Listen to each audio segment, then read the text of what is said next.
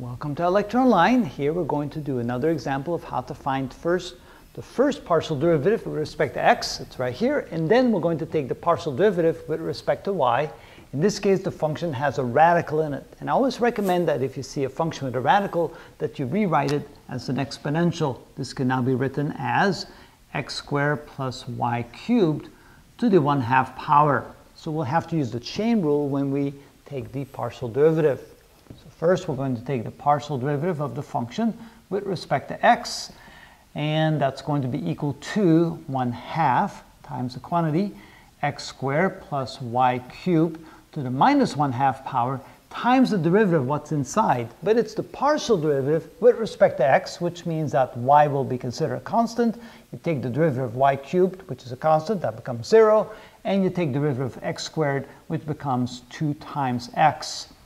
Now notice the, the 2 in the denominator will cancel out with the 2 in the numerator. And we can write this as a denominator. So this can now be written as the partial of the function with respect to x is equal to x divided by the quantity x squared plus y cubed to the 1 half power in the denominator. Now we're going to take the partial derivative of this with respect to the variable y.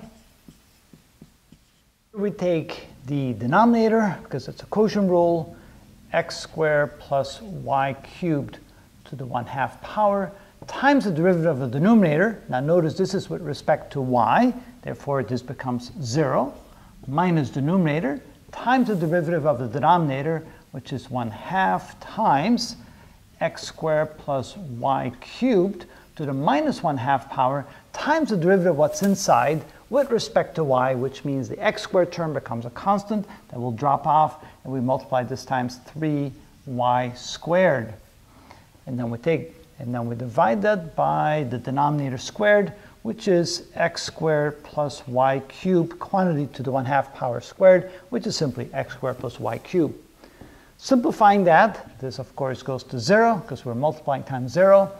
And here, let's see here, this will go to denominator, and this can now be written as, we have a minus x, a 3 and a y squared in the numerator, that is minus 3x y squared divided by the 2 goes to the denominator and then the quantity x squared plus y cubed to the first power plus to the 1 half power when we bring this down. This will then be to the 3 halves power and this is then the result.